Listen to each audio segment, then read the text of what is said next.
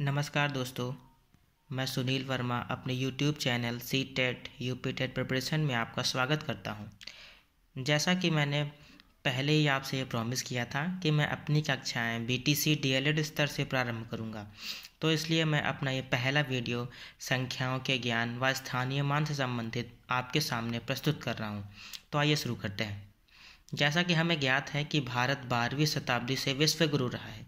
संभवतः यहाँ पर गणित का विकास तो शुरुआत से ही हुआ है है ना? आपने एक गाना भी सुना है, जब ज़ीरो दिया मेरे भारत ने, तब दुनिया को गिनती आई है। तो आइए शुरू करते हैं। हम सबसे पहले शुरू करते हैं अपनी प्राकृतिक संख्याएँ। तो प्राकृतिक संख्याओं के बारे में हम बात करते हैं तो ऐसी संख्याएँ दोस्तों, वे संख्याएँ जो गणना के लिए प्रयुक्त हों। यानी कि एक, दो, तीन, यानी काउंटिंग नंबर्स जिनको हम जोड़ने, घटाने में प्रयुक्त करते हैं, यानी काउंटिंग करने के लिए मुख्यतः ऑब्जेक्ट्स को। तो वो कहलाती हैं आपकी प्राकृतिक संख्याएँ। उदाहरण भी मैंने दे रखा है, इनको नेचुरल नंबर भी बोलते हैं। फिर हम बात करने वाले हैं पूर्ण संख्याएँ पूर्ण संख्याएँ यानी कि होल नंबर होल नंबर्स क्या होते हैं? होल नंबर में दोस्तों हम ज़ीरो को सम्मिलित कर लेते हैं। किसमें सम्मिलित कर लेते हैं? प्राकृतिक संख्याएँ और ज़ीरो का समावेशन कर लेना ही पूर्ण संख्या कहलाता है। इसको अंग्रेज़ी में हम होल नंबर्स के नाम से जानते हैं। फिर हम बात करने वाले हैं सम संख्याओं की। तो सम संख्याओं दोस्तों क्या होती हैं? इनको हम इंग्लिश में इवन नंबर बोलते हैं। ऐसी संख्याएँ जो दो से पूर्णतः विभाजित हो जाएँ, वो कहलाती है हमारी सम संख्याएँ उदाहरण पे मैंने लिखा हुआ है चार, आठ छः ये सभी दो से पूर्णतः विभाजित हो जाती हैं। फिर हम बात करने वाले हैं विषम संख्याओं की। तो विषम संख्याएँ यानी कि ऑड नंबर्स ऐसे नंबर्स जो दो से विभाजित ना हो। उदाहरण पे मैंने लिख रखा है यहाँ पे one three five seven nine एक, पाँच ये सब सभी संख्याएँ क्या हैं? आपकी विषम संख्याएँ। फिर हम बात करने वाले हैं दोस्तों, अभाज्य संख्याएँ यानी कि प्राइम नंबर्स। तो प्राइम नंबर्स क्या होते हैं? ऐसे नंबर जो स्वतः से विभाजित हो और एक से विभाजित हो। वो सभी संख्याएँ अभाज्य, यानी कि प्राइम नंबर कहलाती हैं। फिर हम बात करने वाले हैं भाज्य संख्याएँ यानी कि कंपोजिट नंबर्स तो कंपोजिट नंबर दोस्तों क्या होते हैं? ऐसे नंबर जिनका दो से ज़्यादा गुणनखंड हो, यानी कि चार जैसे समझ लेते हैं तो चार क्या हो गया आपका? एक, दो और चार। खुद तीन संख्याओं से विभाजित हो जा रहा है। इसी तरह हम छः को देख लीजिए तो छः क्या हो रहा है अपना? एक से विभाजित हो जाता है तो दो से भी हो जाता है विभाजित तीन से और छः से विभाजित हो जाता है। तो इस तरह से जो भी नंबर्स होते हैं, वो आपके कहलाते हैं कंपोजिट नंबर्स फिर हम बात करने वाले हैं दोस्तों को प्राइम नंबर्स तो को प्राइम नंबर्स को देखिए, समझ लेते हैं। ऐसे नंबर्स का पेयर कह लीजिए, या ऐसे नंबर्स का पेयर हाँ पेयर ही कह लीजिए, जिनमें कॉमन एक होता है। अब हम उदाहरण के से इसको समझते हैं। जैसे मैंने लिख दिया एक नंबर तीन, और दूसरा हमने कह दिया प्राइम क्या फाइव यानी कि क्या ये एक को प्राइम नंबर है? तो हम देखते हैं। तीन का अगर हम फैक्टर लिखें तो तीन का फैक्टर हो जाता है वन इंटू थ्री वही हम पाँच का फैक्टर अगर लिख रहे हैं तो पाँच के फैक्टर में आता है वन इंटू फाइव एक गुणा पाँच। अब आप इन दोनों में देखते हैं तो कॉमन उभयनिष्ठ क्या दिख रहा है आपको? सिर्फ़ वन दिख रहा है। तो ये आपस में तीन और पाँच क्या हो गई हैं? ये को प्राइम नंबर हो गई हैं। अभी हम बात कर लें सात और आठ। इसको भी देखेंगे तो दोस्तों, इसमें सात है तो सात को आप क्या लिख सकते हैं? एक गुड़ा सात और आठ की बात करें तो आठ को आप क्या लिख सकते हैं? जैसे एक गुड़ा दो गुड़ा दो, है ना? दो दूनी चार, ये आठ हो गया। इसमें भी आप देख रहे हैं तो कॉमन क्या? मिल रहा है हमें एक तो सात और आठ भी आपस में क्या हो गए?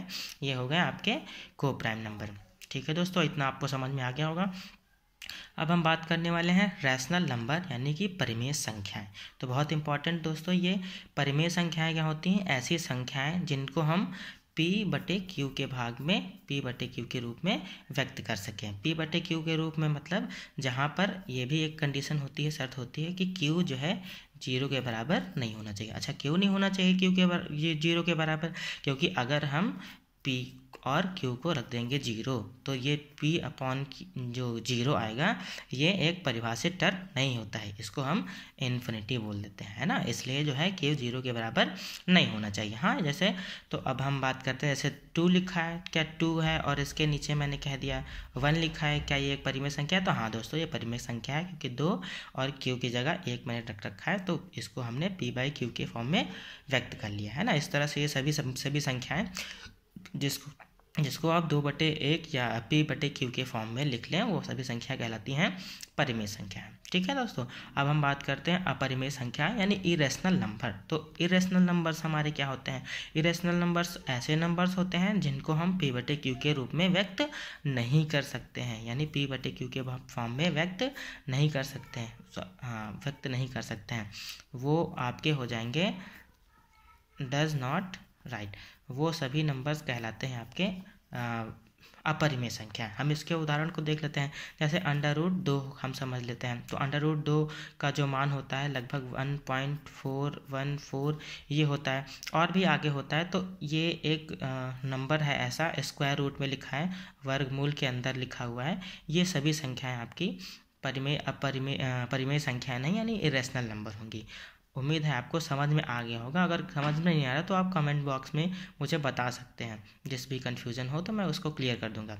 फिर हम बात करते हैं आइए पूर्ण संख्याएँ की। तो पूर्ण संख्याएँ यानी ऊपर हम लोगों ने पढ़ रखा था। पूर्ण संख्या यानी कि होल नंबर्स वो सभी नंबर्स आपके होल नंबर्स हैं। फिर हम बात करते हैं पूर्ण नंबर और उनकी कुछ प्रॉपर्टीज़ देखते हैं। देखे जाते हैं। तो पूर्ण नंबर हमारे क्या है? यही चेक करते हैं। हम्म, तो हम बात करते हैं पूर्ण संख्याएँ। देखिए, पूर्ण संख्याएँ हमारी क्या हैं? उनको समझते हैं। पूर्ण संख्याओं की कुछ प्रॉपर्टीज़ के बारे में हम चर्चा करेंगे। जहाँ, यहाँ पे आपको दिख रहा होगा, पूर्ववर्ती। पूर्ववर्ती को हम बोलते हैं अंग्रेज़ी में प्रीडिसेसर तो प्रीडिसेसर का क्या मतलब होता है, ये समझते हैं। प्रीडिसेसर जैसे आपने होल नंबर लिख दिया यहाँ पे टू है ना? तो टू में प्रीडिसेसर की आप जब बात करेंगे प्रीडिसेसर मतलब पूर्ववर्ती। पूर्व से आता है पहले, यानी कि दो के पहले। पूर्ववर्ती का मतलब होता है पहले आने वाली संख्याएँ तो पहले हम आने वाली संख्या कैसे निकालेंगे दोस्तों? जैसे लिखा है दो तो हमें दो का पूर्ववर्ती बताना है तो आप क्या करेंगे? दो में एक कर देंगे माइनस, यानी घटा देंगे। तो दो माइनस एक कितना होता है दोस्तों? वन। यानी कि दो का जो है पूर्ववर्ती वो क्या होगा? वन होगा। आपको समझ में आ गया? हाँ दोस्तों, आपको पूर्ववर्ती समझ में आ गया होगा, उम्मीद है कि पूर्ववर्ती में हमें क्या करना है? जो संख्या दी है, उसमें से एक माइनस कर देना है तो हमें पूर्ववर्ती यानी प्रीडिसेसर ज्ञात हो जाएगा। अब हम बात करते हैं अनुवर्ती। तो दोस्तों, अनुवर्ती संख्या क्या होती? है अनुवर्ती आ से शुरू हो रहा है। देखिए, अनुवर्ती यानी परवर्ती।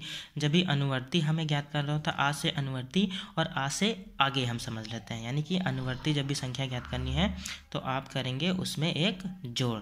यानी कि अगर आपको नंबर लिखा हुआ यहाँ पे थ्री और थ्री का आपको बताना है अनुवर्ती संख्या। तो थ्री में आप क्या कर देंगे? वन कर देंगे प्लस। ये हो जाएगा फोर। ये हो जाएगा आपका अनुवर्ती। अनुवर्ती क्या होगा? किसी भी संख्या में वन ऐड कर देने पे प्राप्त संख्या कहलाती है अनुवर्ती। आइए हम इसके दोस्त आगे बात करते हैं। तो इसके आगे है। हाँ दोस्तों, अनुवर्ती पूर्ववर्ती आपको समझ में आ गया है। अब हम बात करते हैं संख्या रेखा की। संख्या रेखा दोस्तों क्या होती है? संख्या रेखा एक रेखा से आपको पता चल रहा है, ना, लाइन होती है, जिसमें एक हम ज़ीरो बिंदु ले लेते हैं और ज़ीरो के जो बाई तरफ़ होता है, बाई तरफ़ संख्याएँ होती हैं आपकी ऋणात्मक संख्याएँ। कौन सी संख्या होती हैं? ऋणात्मक संख्याएँ। अब इसके दाएँ तरफ़ फिर कैसी होंगी?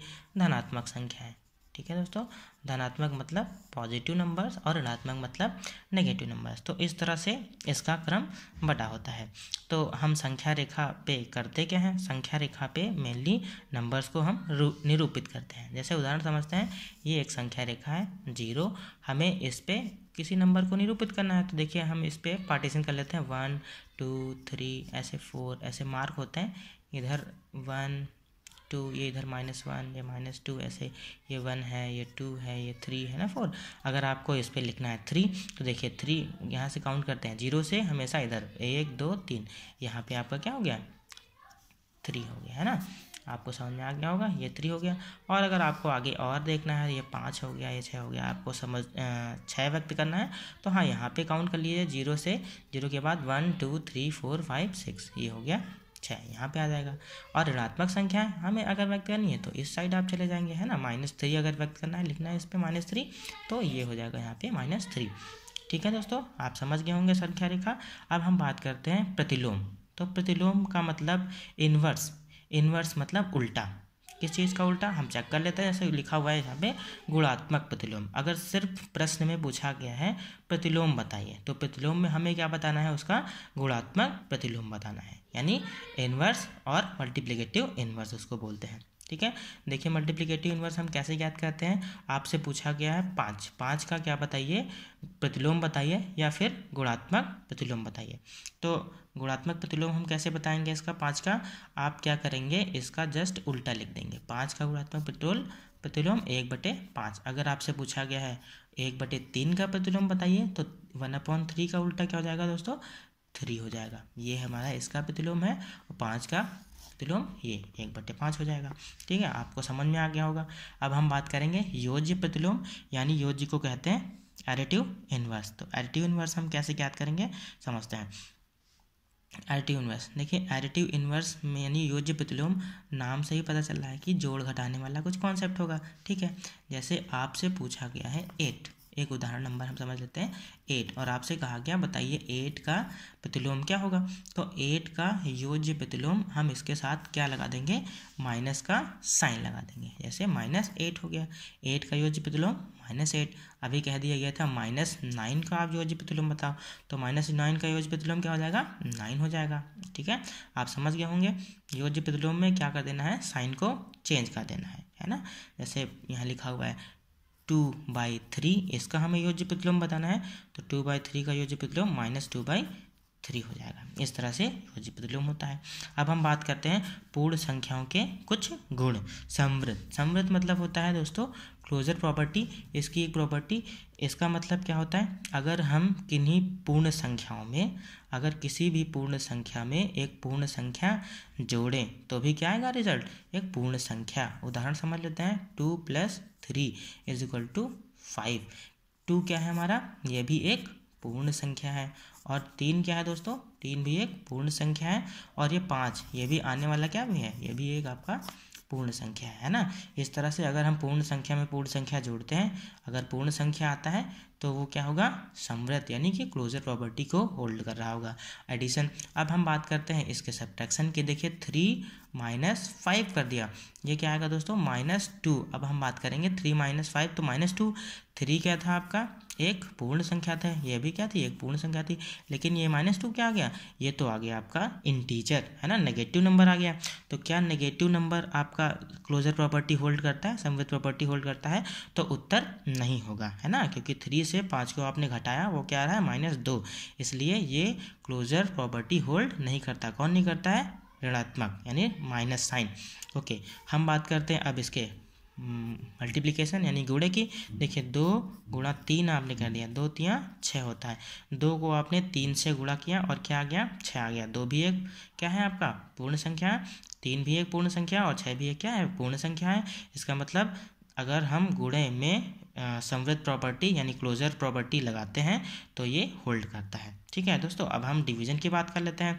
अगर एक संख्या लिखी है यहाँ पे eight divided by five is equal to यहाँ क्या आएगा? ये पॉइंट में नंबर आएगा, या एट बाई हम फाइव फाइव ही लिख ले इसको। यहाँ पे देखिए एट क्या था? पूर्ण संख्या थी, पाँच पूर्ण संख्या थी, लेकिन आया क्या? एट एट बाई फाइव यानी आठ बटे पाँच, क्या ये पूर्ण संख्या है? तो नो इसलिए डिवीज़न भी आपका समृद्ध प्रॉपर्टी यानी क्लोजर प्रॉपर्टी होल्ड नहीं करता। दोस्तों, समझ में आ गया होगा आपको? फिर आप बात करते हैं हम क्रम विनिमय नियम। क्रम विनिमय नियम मतलब कम्यूटेटिव प्रॉपर्टी क्रम का विनिमय करना, यानी कि आपस में उनको एक दूसरे से एक्सचेंज कर देना। उदाहरण समझते हैं, जैसे ए लिखा है प्लस बी लिखा है ये क्या लिख हो गया? बी प्लस ए हमने आपस में क्या कर दिया? इनका ऑर्डर को चेंज कर दिया। उदाहरण समझ लेते हैं, जैसे लिखा हुआ है, पाँच प्लस तीन। इसको हम क्या लिख सकते हैं? तीन प्लस पाँच लिख सकते हैं। पाँच प्लस तीन करेंगे, तब भी आठ आने वाला है। तीन प्लस आठ पाँच करेंगे, तब भी आठ आने वाला है। इसका मतलब क्रम विनिमय नियम आपका कम्यूटेटिव प्रॉपर्टी होल्ड करता है। क्रम हाँ सॉरी क्रम क्रम विनिमय नियम आपका, ये एडिशन प्रॉपर्टी होल्ड करता है। फिर हम बात करते हैं सहचर नियम, यानी एसोसिएटिव प्रॉपर्टी तो एसोसिएटिव प्रॉपर्टी क्या होती है? एसोसिएटिव का मतलब होता है ब्रैकेट्स का एसोसिएशन ब्रैकेट की पोजीशन को चेंज कर देना। देखिए, लिखते हैं। बी प्लस सी लिखा है मैंने। यहाँ पे बी और सी पे ब्रैकेट लगा दिया। यहाँ लिखा है मैंने ए प्लस बी इस पे ब्रैकेट लगा दिया और सी को बाहर कर दिया। उदाहरण समझ लेते हैं। जैसे यहाँ लिखा है three plus two plus five is equal to three plus two को ब्रैकेट में कर दिया और यहाँ कर क्या कर दिया? फाइव। यहाँ देखिए क्या आएगा? बॉड मॉस क्या कहता है? पहले ब्रैकेट को सॉल्व करेंगे। तो तीन और सॉरी, पाँच और दो मिला करके सात हो गया। सात तीन, दस हो गया। यहाँ बात करेंगे हम। इधर दस आ रहा है। बाएँ पक्ष में और इधर तीन, दो, पाँच पाँच पाँच, दस, दाएँ पक्ष में भी क्या आ रहा है? दस आ रहा है। इसका मतलब एसोसिएटिव प्रॉपर्टी भी एडिशन की होल्ड करती है। है ना? पूर्ण संख्याओं में associative property for addition hold करती है। यानी सहचर नियम लागू होता है। किसके लिए लागू होता है? फॉर एडिशन यानी कि जोड़ और गुड़े के लिए। फिर हम बात करते हैं वितरण नियम। वितरण नियम का मतलब होता है डिस्ट्रीब्यूटिव प्रॉपर्टी यानी कि किन्हीं चीज़ों का वितरण कर देना। हम समझते हैं, लिखा है ए गुणा ब्रैकेट में बी गुणा सी बराबर ए गुणा बी गुणा सी अच्छा सॉरी ये तो मैं यहाँ प्लस कर लीजिए आप। ये प्लस का निशान है, और यहाँ भी ये क्या है? प्लस का निशान है। समझने के लिए करते हैं। अब देखिए, ये दोनों चीज़ें सेम हो गई। हम वितरण नियम में क्या करेंगे? ए गुणा बी प्लस ए गुणा सी तो अगर ए गुणा बी प्लस सी लिखा है ये सॉरी प्लस का निशान है, आप देख लीजिएगा उसको। ए गुणा B plus C is equal to A गुणा बी प्लस ए गुणा सी अगर ये चीज़ है क्वेश्चन में, प्रश्न में तो वो वितरण प्रॉपर्टी होगी। देखिए, उदाहरण समझ लेते हैं। दो गुणा तीन प्लस चार बराबर दो गुणा तीन प्लस दो गुणा चार। क्या ये बराबर आता है? देखते हैं। चार तीन, सात हो गया, गुणा दो हो गया। ये क्या आ रहा है? तीन दुनी छः प्लस चार दुनी आठ। ये हो गया। अब बात करते हैं। सात दुनी चौदह, और ये भी क्या आ रहा है? आठ छः चौदह। तो ये दोनों प्रॉपर्टी हो गई। वितरण प्रॉपर्टी इस तरह से आपकी पूर्ण हुई।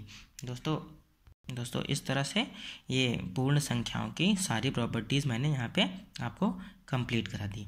उम्मीद करता हूँ कि आप दोस्त सभी को ये वीडियो पसंद आया होगा और आप इसको अच्छे से अधिगम कर सके होंगे, है ना? आपको कहीं भी ना समझ में आया हो तो आप कमेंट बॉक्स में कमेंट कर सकते हैं और जिस भी प्रश्न में या जिस भी टॉपिक में आपको समस्या है, वहाँ पे कमेंट आप कर सकते हैं। मैं उसका वीडियो आप तक अवश्य पहुँचा दूँगा। और कमेंट लाइक करना मत भूलें और साथ ही साथ चैनल को मेरे सब्सक्राइब करिए, जिससे आपको अधिक से अधिक लाभ हो सके। धन्यवाद। आपका दिन शुभ हो।